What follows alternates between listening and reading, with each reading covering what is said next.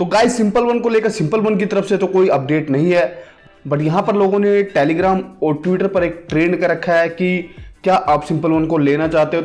उसके साथ other option भी दिए गए, जहाँ पर जो है बहुत ही कम चांसेस रह गए अब इसको खरीदने के। और इसके साथ ही काफ़ी लोग जो बोल रहे हैं इसकी कंज्यूमर कोर्ट में अब कंप्लेंट करने का टाइम आ चुका है बिकॉज़ ये कंपनी जो है फेक और तेरह महीने से अबव हो गए, जो कि कंज्यूमर के भावनाओं के साथ खेल रही है। और उसके साथ ही बात करें, हम काफ़ी सारे लोग टेलीग्राम पे मैसेज कर रहे हैं कि हमने जो है, इस स्कूटर को कैंसिल कर दिया बट हमारा रिफंड अभी तक नहीं आया अराउंड 15 डेज़ हो गए हैं। तो काफ़ी सारे लोग रिफंड का भी वेट कर रहे हैं। अपार्ट फ्रॉम दीज बात करें, अगर रिसेंटली अभी टेलीग्राम चैनल पर लास्ट वीक की इनके गोडाउन की, यानी कि जो सिंपल वन का जो मेन प्लांट है, वहाँ की फ़ोटो कुछ इस तरह की देखने को मिल रही है, जहाँ पर जो अभी तक सब कुछ खाली है, कुछ भी नहीं है।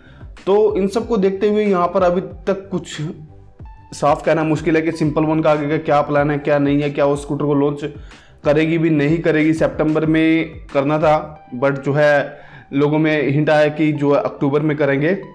उसके बाद यहाँ पर ये देखने वाली बात होती है, क्योंकि अभी तक इन्होंने पेमेंट प्रोसेस भी जो है नहीं बताया।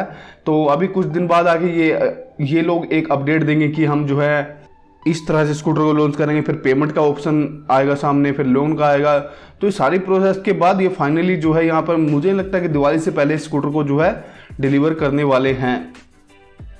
और मे भी क्या पता ना भी करें।